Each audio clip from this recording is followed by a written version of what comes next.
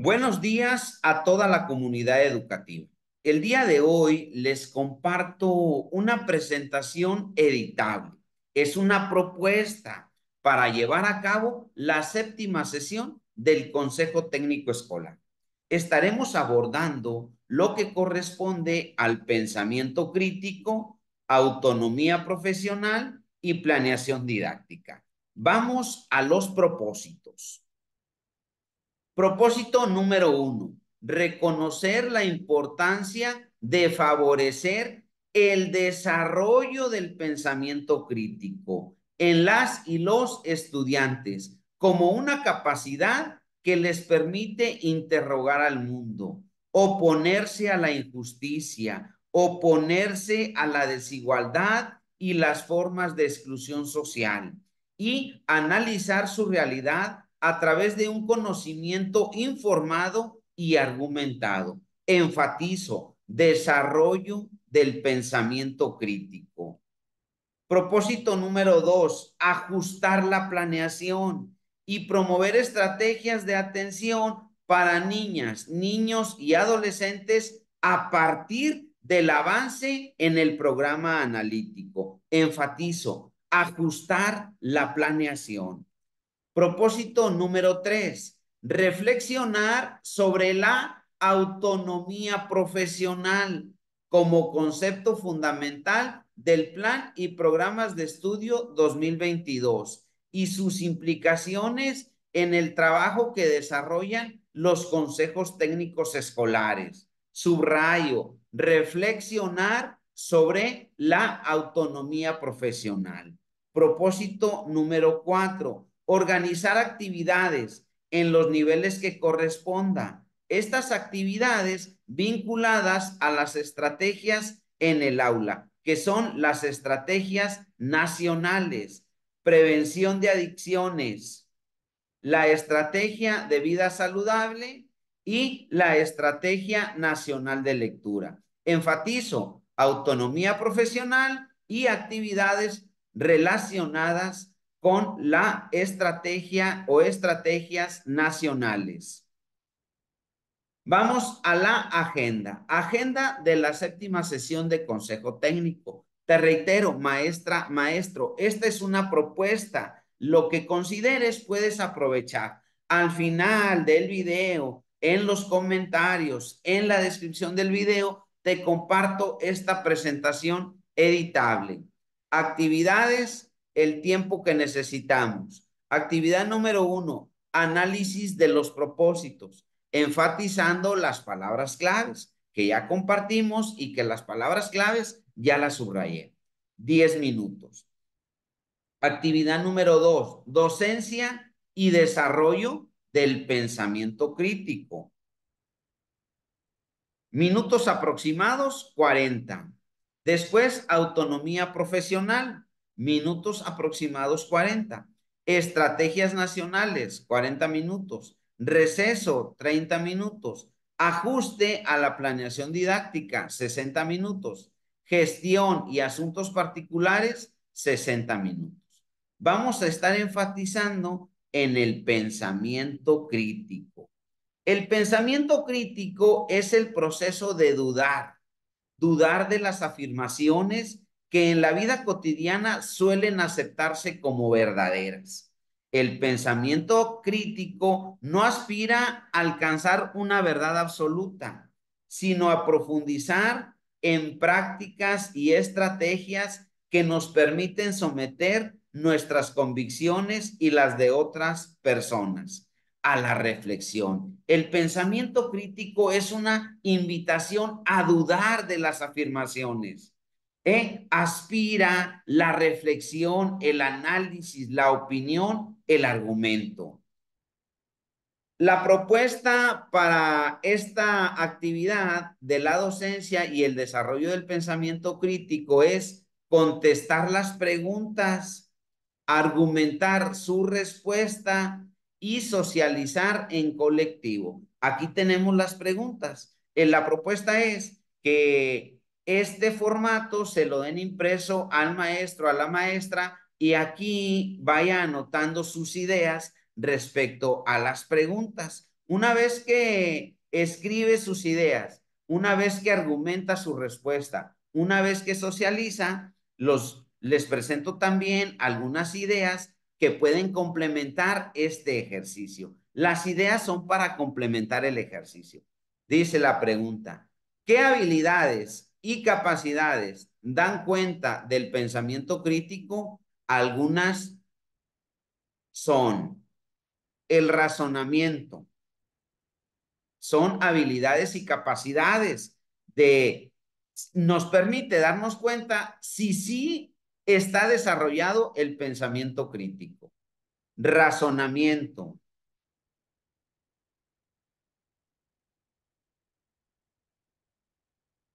El razonamiento. Si tiene el pensamiento crítico, también podrá explicar y argumentar.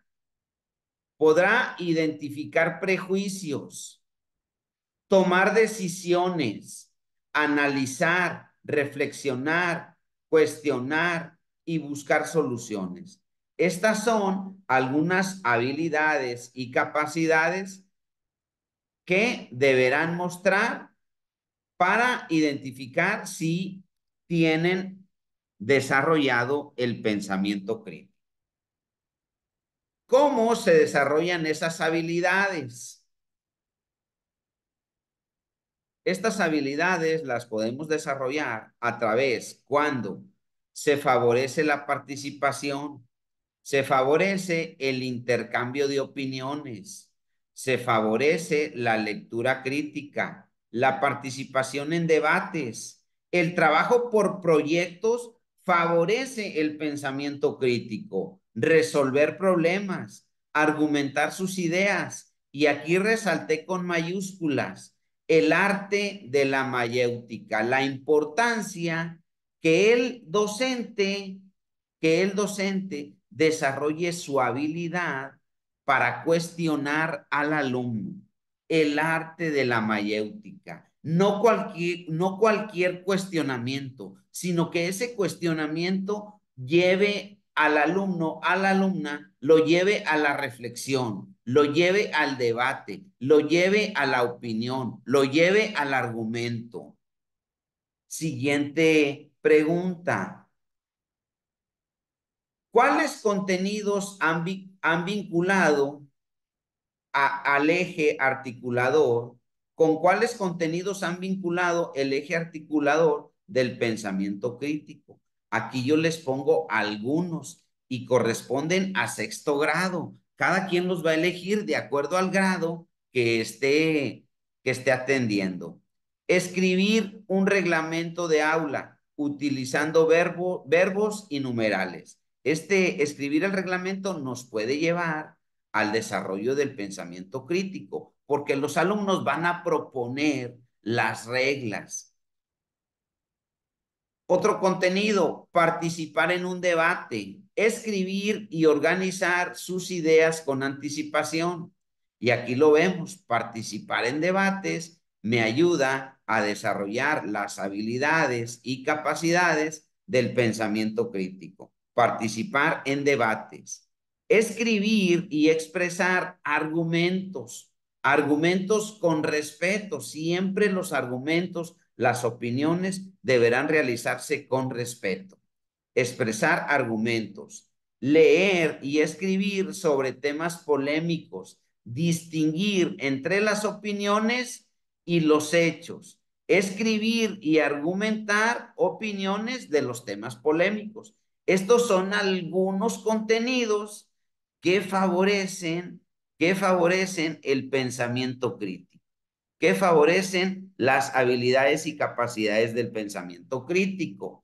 Si ustedes observan, las preguntas están relacionadas y las respuestas nos van dando cuenta, nos van informando de qué y cómo podemos desarrollar el pensamiento crítico. Siguiente pregunta. ¿Cuáles son los campos formativos o contenidos o procesos de desarrollo de aprendizaje en donde resulta más propicio trabajar el pensamiento crítico. De manera personal, yo creo que en todos los campos formativos es propicio impulsar el pensamiento crítico, porque en cada proyecto de los libros de texto se sugiere una cantidad suficiente de cuestionamientos y el docente tiene la oportunidad de impulsarlos. Algo que he observado en los proyectos de los libros de texto es que tienen bastantes cuestionamientos. Entonces, por sí solo, por sí solo, se da el fomento, se favorece el pensamiento crítico. ¿Qué debemos de hacer, maestras, maestros? Enfatizar los cuestionamientos de los libros de texto gratuito. Si es necesario, agregar otros cuestionamientos. Si es necesario, ajustarlos acordes a las necesidades de sus alumnos, de sus alumnas. Siguiente pregunta. ¿En qué medida el trabajo por proyectos favorece el desarrollo del pensamiento crítico? El trabajo por proyectos desarrolla el pensamiento crítico. Ya lo mencioné, porque presenta bastantes cuestionamientos que favorecen la reflexión y el análisis de los alumnos. Además, además, permite el desarrollo del pensamiento crítico porque favorece el análisis, favorece que el alumno pueda opinar, ponerse de acuerdo, argumentar, proponer soluciones y tomar decisiones. Por eso yo estoy convencido que el trabajo por proyectos sí favorece el pensamiento crítico. Vamos a la última pregunta. La última pregunta. ¿Qué ajustes podrían realizar a sus estrategias de enseñanza para promover el desarrollo del pensamiento crítico? ¿Qué ajustes podemos realizar? Es importante que el docente valore los cuestionamientos de cada proyecto, valore los cuestionamientos de cada proyecto, los ajuste de acuerdo a las características de su grupo. Integre otros cuestionamientos que considere. Propiciar la participación de todas las alumnas y alumnos. Brindar confianza. Otorgar libertad para exponer las ideas. Otorgar libertad para exponer las ideas para exponer opiniones y, y para exponer argumentos. Estas son algunas ideas, todas, todas, son algunas ideas que nos pueden ayudar a favorecer el desarrollo del pensamiento crítico. Son algunas ideas. Ustedes en colectivo pueden integrar más ideas, más opiniones, más argumentos acerca del pensamiento crítico. Lo que aquí te comparto es una propuesta y solamente son algunas ideas. Vamos al siguiente. Algo importante y que no debemos perder de vista. El pensamiento crítico, el pensamiento crítico es un proceso gradual. Es un proceso gradual que poco a poco se va fortaleciendo. Va a depender del grado educativo, del nivel educativo que estés atendiendo pero tiene que quedarnos claro que es un proceso gradual, que poco a poco se va a fortalecer y se va a mejorar.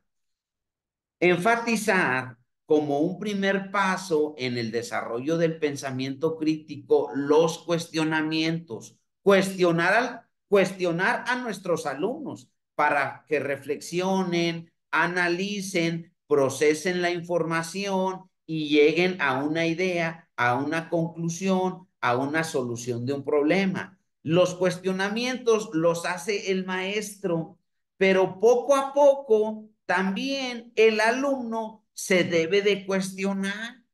Por eso es gradual. En los primeros ejercicios del desarrollo del pensamiento crítico, el maestro, la maestra cuestiona a sus alumnos y poco a poco el alumno, la alumna también debe realizarse sus propios cuestionamientos para procesar la información, buscar ideas, argumentar, sustentar, opinar, socializar para llegar a mejorar esa idea, mejorar esa opinión, tomar decisiones, tomar decisiones, solucionar problemas. Este dibujo, esta ilustración pretende explicar el pensamiento crítico. Si quieres profundizar en la docencia y el desarrollo del pensamiento crítico, aquí en tu canal tengo un podcast. Invitamos a la innovadora maestra Jenny Ibarra Palacios, donde nos habla sobre el desarrollo del pensamiento crítico. La maestra innovadora diseñó, creó, construyó uno de los proyectos de los libros de texto. Nos comparte su experiencia, sus ideas y diferentes estrategias, diferentes estrategias para desarrollar el pensamiento crítico. Es una propuesta y es una, es una idea. Te la comparto. Este video, sí, este podcast, sí necesita un poquito de más tiempo. Es para las maestras y los maestros que quieran profundizar en el desarrollo del pensamiento crítico. Estamos en la actividad número dos de la séptima sesión de Consejo Técnico Escolar. Vamos a la actividad número tres. La actividad número tres es la autonomía profesional. ¿Qué es la autonomía profesional? ¿Qué implica para los docentes? También, ¿qué implica para la función directiva y la función del supervisor? Esa autonomía profesional, ¿cómo la integro a la planeación didáctica? ¿Qué no es la autonomía profesional? ¿Y qué vamos a lograr si practicamos, si ponemos en juego la autonomía profesional? La idea es que aquí los maestros y las maestras registren sus ideas previas, registren sus saberes, registren sus conocimientos. Luego, mientras los vamos a socializar, mientras los socializamos, les comparto algunas ideas que pueden ayudar a favorecer la comprensión eh, de lo que significa autonomía profesional. ¿Qué es la autonomía profesional? Es la libertad, aquí lo quiero puntualizar, ¿qué es la autonomía profesional? Es la libertad que tiene el docente para aplicar su conocimiento, su criterio, su experiencia en el diseño de actividades, estrategias y proyectos que transformen, que transformen su práctica profesional y el logro de los procesos de desarrollo de aprendizaje. La autonomía profesional es la libertad para que el docente tome decisiones, pero esas decisiones deben estar enmarcadas en la mejora de los aprendizajes de manera permanente. Quiere decir que la decisión que tome es para mejorar los aprendizajes. ¿Qué implica? ¿Qué implica? ¿Qué implica para los docentes? La autonomía profesional implica que el docente tenga una competencia pedagógica que esté bien preparado, actualizado, capacitado, que tenga habilidad para resolver problemas, que pueda ejercer una reflexión crítica para tomar iniciativa, tomar iniciativa, que, que el maestro, la maestra, no esté esperando a que el director, el supervisor le dé indicaciones. Por eso dice, tomar iniciativa, que el docente tenga creatividad e innovación. Esto es lo que necesita para poder impulsar su autonomía profesional. Que el maestro o la maestra sea capaz de favorecer su autoaprendizaje, que puede ejercer un liderazgo pedagógico. Estas son algunas características que los docentes debemos de tener, que los docentes debemos de tener para favorecer la autonomía profesional. Dice, ¿cómo la integro a la planeación didáctica? Esta autonomía profesional, ¿cómo la integro? Me va a permitir decidir las actividades, decidir las estrategias, decidir los materiales, decidir los tiempos, decidir la evaluación, decidir el uso de la tecnología, decidir las actividades paralelas, decidir algún proyecto como LEM, lectura, escritura y matemáticas. Te permite decidir la metodología, elegir los procesos de desarrollo de aprendizaje y favorecer que las actividades, que las estrategias favorezcan la contextualización. Lo resalto, lo resalto. La autonomía profesional, libertad de decidir con responsabilidad, autonomía profesional libertad de decidir con responsabilidad. ¿Qué no es? ¿Qué no es la autonomía profesional? No son prácticas arraigadas sin sentido. La autonomía profesional no son a indicaciones autoritarias. La autonomía profesional no son formatos obligatorios. Es verdad que se necesitan formatos, pero el colectivo, las maestras y los maestros los pueden diseñar. Por eso lo que yo les comparto aquí en su canal son propuestas. La autonomía profesional no es esperar a que alguien te diga qué hacer. Por eso, por eso ahorita enfatizaba que se debe tomar iniciativa la maestra y el maestro deben tener iniciativa de proyectos, de estrategias, de materiales, de tecnología para el máximo logro de aprendizajes. Entonces, no esperar a que alguien te diga qué hacer.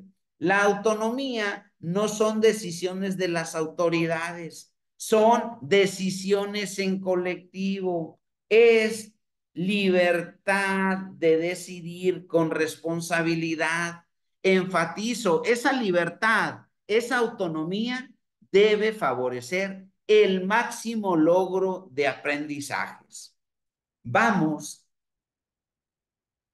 dice, ¿qué implica para la función directiva y de supervisor? ¿Qué implica? Implica que el director y el supervisor puedan impulsar un diálogo profesional, puedan realizar sugerencias, argumentos y empatía, que la función directiva y de supervisión, propuestas de formatos, ahorita lo, lo mencionaba, propuestas, no o formatos obligatorios, propuestas de formatos, no formatos obligatorios. Lo enfatizo que deben ser propuestas de los directores y de los supervisores. Que el director y el supervisor se note la organización en sus estrategias de actividades. Promover la reflexión crítica de las maestras y los maestros, que tomen decisiones, favorecer el desarrollo profesional, función directiva y de supervisión. Para fortalecer la autonomía profesional es necesario fortalecer el desarrollo profesional de las maestras y los maestros a través de la AAA, yo así le llamo, la AAA, apoyo, asesoría y acompañamiento. ¿Qué vamos a lograr? ¿Qué vamos a lograr si desarrollamos nuestra autonomía profesional? Vamos a, a lograr docentes empoderados, docentes creativos. Vamos a lograr la transformación del desempeño docente, mayor iniciativa, lo reitero, aquí en mayor iniciativa, mayor iniciativa, va de la mano, tomar iniciativa. ¿Quiénes? Los docentes, los docentes, ¿quiénes van a tomar iniciativa? Los docentes. ¿Para qué? Para favorecer la autonomía profesional. Entonces, tomen iniciativa. Tomar decisiones, resignificar la tarea de enseñar. Un liderazgo pedagógico se fortalece y se fortalece el logro de los procesos de desarrollo de aprendizaje. Estas son algunas ideas para fortalecer el, la autonomía profesional. ¿Qué es la autonomía profesional? ¿Qué implica? ¿Qué implica para los docentes? Pero también, ¿qué implica para la función directiva y de supervisión? Les comparto que estas son algunas ideas. Ustedes las pueden mejorar. Por eso la propuesta es que primero los maestros registren sus ideas y luego ya con esta información ustedes pueden complementar. Vamos, seguimos con la autonomía profesional. Estas son palabras claves de la autonomía profesional, como dialoga, adapta, orienta, acompaña, enseña, integra, propone y le da forma. ¿Quién? El docente. ¿Quién lo acompaña? La función directiva. ¿Quién lo asesora, lo acompaña y lo apoya? La función directiva y la función del supervisor. Entonces, estas son palabras claves de la autonomía profesional que también te pueden ayudar, te pueden ayudar a realizar la reflexión, el análisis. Si quieres profundizar en la autonomía profesional, te recomiendo este video. Aquí lo puedes encontrar. Es un podcast. Invitamos al innovador, el maestro Ángel Iván Hernández Domínguez, donde nos habla de su proyecto, la injusticia social en la independencia. Eh, el innovador, el maestro Ángel, diseñó el proyecto y nos habla sobre la autonomía profesional y los libros de texto 2023-2024 es una invitación para las maestras y los maestros que quieran fortalecer la autonomía profesional. Les comparto este podcast. Lo podrán encontrar aquí en su canal. Vamos a la número cuatro. Estrategias nacionales. Y aquí las estrategias nacionales, vamos a ver, estas estrategias nacionales, ¿para qué nos sirven? ¿Cuáles son los propósitos? Involucran a las familias, a los colectivos docentes y a la comunidad educativa. Las estrategias nacionales tienen el propósito de involucrar a las familias. Favorecen los procesos integrales de formación. Responden a las necesidades actuales y específicas. Se integran en los proyectos de los libros de texto, en las actividades paralelas y en el programa de mejora continua. Las estrategias nacionales no las vean como algo extra. Por eso yo aquí les, les propongo que las puedan integrar a los proyectos de los libros de texto, que las puedan integrar en las actividades paralelas, que las puedan integrar en el programa de mejora continua. Las estrategias nacionales son flexibles, quiere decir que las podemos retomar en los proyectos, en las actividades paralelas y en el programa de mejora continua. Una estrategia es prevención de adicciones. Si te drogas, te dañas.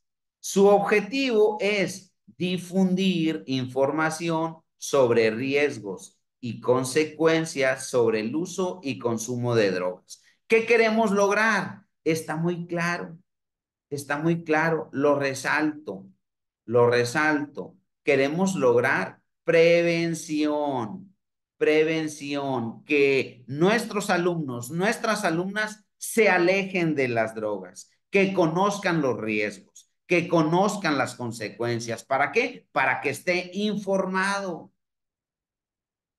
mediante sesiones de orientación en las aulas de educación secundaria e instituciones del nivel medio superior. Se difunde de manera semanal contenido, contenido en el sitio web de la estrategia y se realiza la transmisión en vivo de los conversatorios con expertos en temas relacionados con la prevención, prevención de adicciones. Aquí nuevamente lo resalto, prevención de adicciones.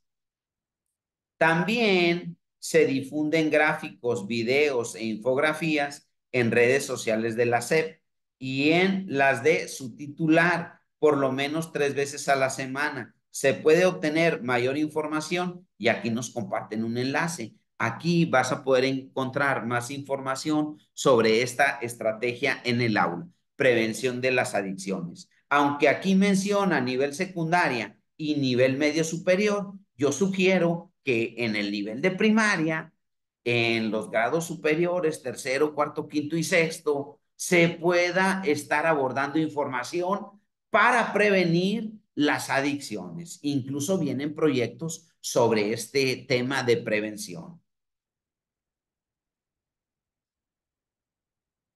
Otra estrategia nacional, otra estrategia nacional es Estrategia de vida saludable. Estrategia nacional. Se difunde martes, jueves en las redes sociales de la SEP, en las de su titular. La campaña busca formar hábitos de vida saludable, formar hábitos de vida saludable en las niñas, los niños, los jóvenes y los adolescentes mexicanos considerando los diferentes contextos socioculturales de cada región, enfocados a una buena alimentación y activación física. Entonces aquí, hábitos de vida saludable, diferentes contextos, buena alimentación y, activación física, lo podemos integrar o lo podemos encontrar en los proyectos de los libros de texto, los podemos integrar en las actividades paralelas los podemos integrar en el programa de mejora continua. Estrategia de vida saludable, que también aparece en los diferentes niveles y fases de la educación. Vamos al siguiente. Otra estrategia nacional es Estrategia Nacional de Lectura integrar a los padres de familia, favorecer los procesos integrales, responde a necesidades actuales y específicas. La podemos integrar en los proyectos, en las actividades paralelas y en el programa de mejora continua. Vamos, dice, los contenidos de esta estrategia se difunden tanto en redes institucionales de la Secretaría de Educación Pública todos los días como citas, recomendaciones, retos lectores y fragmentos animados de lecturas, así como en las redes sociales de la titular de la SED, la maestra Leticia Ramírez Amaya. Además, semanalmente, un video con el fragmento de alguna lectura. Aquí, Estrategia Nacional de Lectura. Estamos convencidos que la lectura es un aprendizaje básico, fundamental en nuestras escuelas. Entonces, intégrenlo en el programa de mejora continua. Intégrenlo en las actividades. Es la lectura es una actividad que realizamos de manera diaria. Entonces, enfaticen las estrategias de lectura, enfaticen las modalidades de lectura. Se ofrece si quieres conocer más sobre las estrategias nacionales, aquí se te ofrecen varios sitios, varios enlaces donde tú podrás, maestra, maestro, encontrar mayor, mayor información sobre las estrategias nacionales. Entonces, vamos, esta es la actividad cuatro, profundizar en lo que corresponde a las estrategias nacionales. Vamos a la actividad 5. La actividad 5 corresponde al ajuste y avance a la planeación didáctica. Ajuste y avance a la planeación didáctica.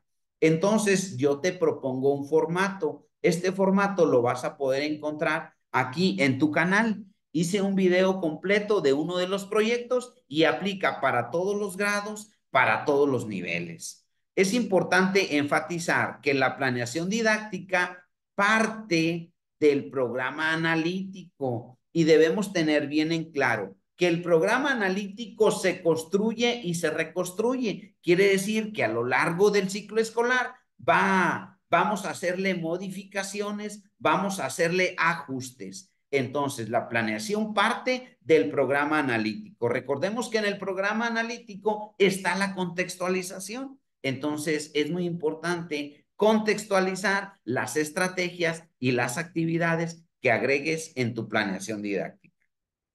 Puntualizo, y es importante que las maestras y los maestros puedan identificar qué contenidos y procesos de desarrollo de aprendizaje no han sido atendidos todavía.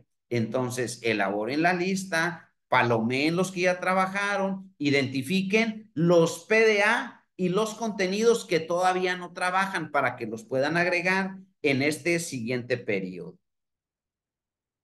Maestra, maestro, es importante definir las mejores estrategias de enseñanza para abordarlos.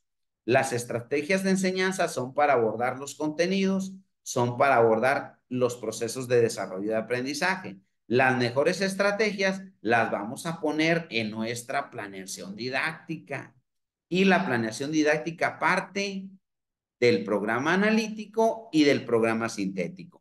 En el programa sintético vamos a encontrar los contenidos y los procesos de desarrollo y en el programa analítico vamos a encontrar la contextualización. Entonces los integramos y podemos darle forma a nuestra planeación didáctica.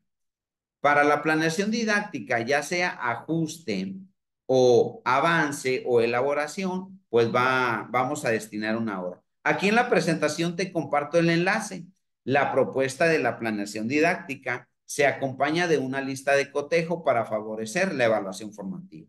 Si todavía tienes duda sobre la planeación por proyectos, si todavía tienes duda, te recomiendo este video de planeación didáctica. Aquí lo vas a encontrar. Es una propuesta, es un formato, es una explicación. Ustedes con toda seguridad lo pueden mejorar. Es un ejemplo de una planeación didáctica. Si quieres seguir profundizando acerca de la planeación didáctica, te comparto un podcast. A este podcast invitamos a la innovadora doctora Gabriela Lisset García Juárez. Y el tema que abordamos en, en este podcast es la planeación didáctica y los libros de texto. Son ideas, opiniones y argumentos muy importantes que te van a apoyar, asesorar en la elaboración de tu planeación didáctica. Te invito para las maestras y los maestros que quieran profundizar en este apartado de la planeación didáctica, los invito a que puedan valorar este podcast. Te comparto los insumos que propone la las orientaciones, las orientaciones de esta séptima sesión. Aquí vas a poder encontrar los documentos y los dos videos. Los documentos y los videos. De manera personal, yo sugiero que las maestras y los maestros los pueden hacer con anticipación para ya durante la sesión podamos dedicarle mayor tiempo a la confrontación de ideas, a la socialización, a las opiniones, a los argumentos y a las propuestas. Te reitero que es una propuesta. Ustedes, como directivos, como supervisores, como colectivo, podrán tomar la decisión más acertada acorde a la autonomía profesional, que es uno de los temas que, acabamos de ver. El punto número seis es la gestión escolar y asuntos particulares. En este, en este apartado, el colectivo, en colaboración con el director, podrán decidir qué temas qué asuntos particulares de la escuela van a abordar. Esta es la propuesta para llevar a cabo la séptima sesión de Consejo Técnico Escolar. Te comparto la presentación editable en los comentarios y en la descripción. Te reitero los temas analizados, pensamiento crítico, autonomía profesional y planeación didáctica. Agradezco un espacio en tu agenda. Agradezco tu apoyo a este canal.